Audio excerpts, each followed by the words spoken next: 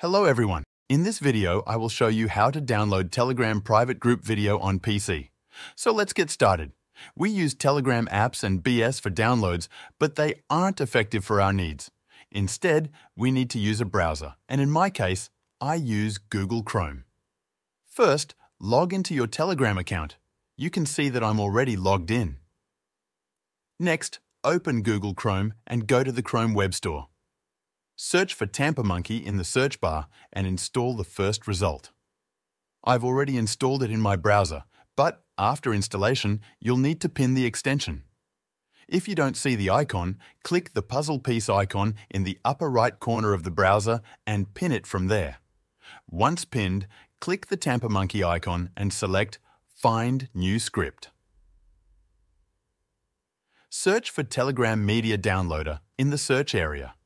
Install the script by clicking the Install button, then restart your browser. After restarting, if you go to the Telegram app and try to download a file, you won't see the Save or Download option directly.